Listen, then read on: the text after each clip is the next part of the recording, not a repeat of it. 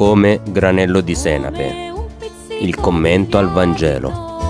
Una donna in passato di notte crescerà e ti verrà pane benefico nel forno del mio Signore. Sia lodato Gesù Cristo. Cari fratelli, ascoltiamo il brano del Vangelo di Giovanni nella seconda domenica del tempo ordinario. In quel tempo Giovanni stava con due dei suoi discepoli e fissando lo sguardo su Gesù che passava disse, ecco l'agnello di Dio. E, suo, e i suoi due discepoli, sentendolo parlare così, seguirono Gesù.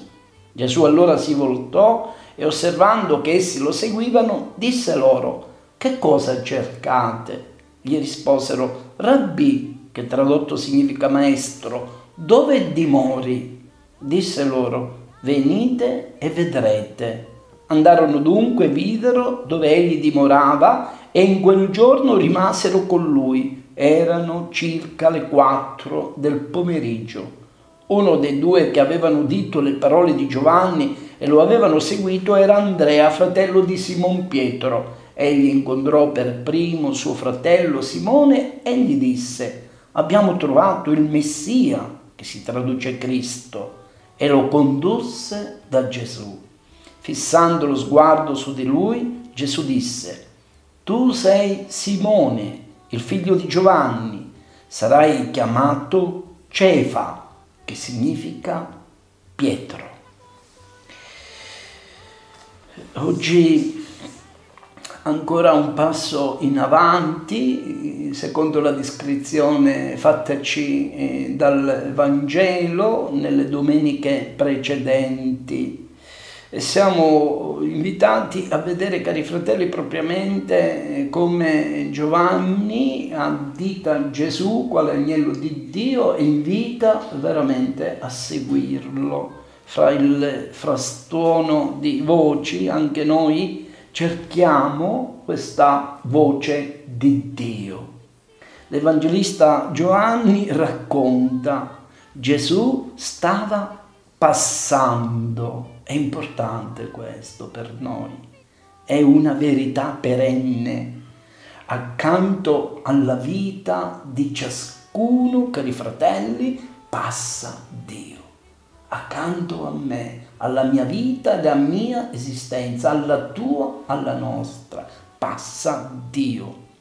Puoi non sentirlo, non vederlo, puoi non crederlo, come spesso si sente dire in giro, puoi non amarlo, ma resta la verità. Dio ti passa accanto continuamente il libro dell'Apocalisse, San Giovanni quindi ci ricorda e così, ecco, io sto alla porta e busso, se qualcuno ascolta la mia voce e mi apre la porta, io verrò da lui, cenerò con lui e lui con me. Cristo è Dio tra noi, egli è qui e nessuna vita è vivibile fuori di lui. Ma ci chiediamo, ma come facciamo a riconoscerlo? Giovanni Battista, appena vede, appena vede Gesù, lo fissa, lo riconosce. Giovanni Battista, appena vede Gesù, grida, ecco l'agnello di Dio.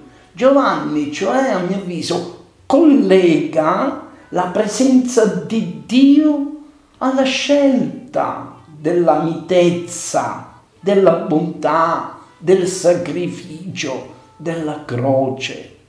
Proviamo ad accettarci così come siamo. Proviamo a vedere nel fratello che soffre, nel povero, nell'ammalato questa presenza di Dio. Scopriremo lì il mistero della grandezza della presenza del Signore.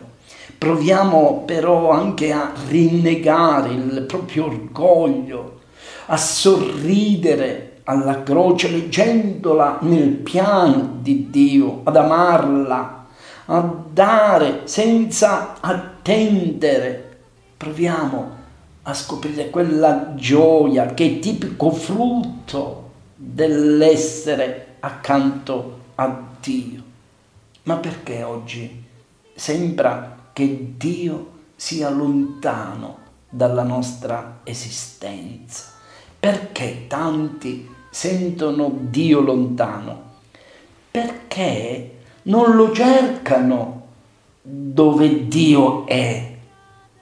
Perché non combattono la propria cattiveria, non estinguono il proprio orgoglio che rende ciechi ed estranei a Dio, pur avendolo accanto.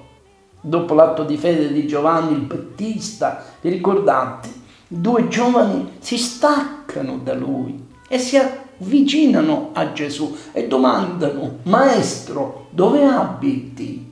Venite e vedrete. Gesù ci dice, chi è Dio non si può raccontare, si può capire soltanto vivendo la vita di Dio. Quando ci chiediamo che cos'è la pace di Dio, bisogna vivere la pace per scoprire la pace di Dio. Che cos'è la fede? Vivendo la fede si capisce il dono prezioso di questo amore con Dio. A noi la parola di Dio, il Vangelo di oggi particolarmente questo chiede, non si cerca Dio dall'esterno. Non basta neppure una bella definizione di Dio, non fermarci sulle idee su Dio. Volete conoscermi? Dice il Signore, cominciate a vivere la mia vita e tutto diventerà chiaro. I santi in mondo chi sono stati? Chi sono i santi? I santi non sono parolai, ma persone che vivono la parola, che fanno questa esperienza con la, con la parola. Solo facendo esperienza di vita con Lui lo riconosceremo e anche lo comunicheremo agli altri. Ricordate, Andrea va dal fratello Simon Pietro, abbiamo trovato il Messia e lo condusse da Gesù. Solo così si fa evangelizzazione. La Chiesa deve imparare da questo, solo stando con Gesù e facendo esperienza con Lui si ha la forza della testimonianza. Non si può dare agli altri se prima non stiamo con Gesù. Quindi l'invito alla preghiera, alla contemplazione, allo stare solo e a soli con Lui davanti al tabernacolo Diceva Plutarco, questo scrittore dell'antica eh, Roma, l'opera del maestro non deve consistere nel riempire un sacco, ma nell'accendere una fiamma. Questa è l'opera del maestro. È così veramente. Nella misura in cui abbiamo detto il nostro sì a Gesù, lui ci invita ad essere testimoni, testimoni con la nostra parola, testimoni con la nostra vita, per presentare il fascino di questo incontro con Cristo. Anche noi, cari fratelli, abbiamo conosciuto Gesù attraverso dei testimoni. Io penso alla mia esperienza personale. I miei genitori che mi hanno dato il dono della fede con la loro testimonianza, quelle anziane vecchiette con le quali recitavamo il rosario nella nostra piccola chiesetta, con la loro vita semplice e profonda, e poi i catechisti, e poi l'incontro con il sacerdote, che mi ha avviato anche alla vocazione sacerdotale.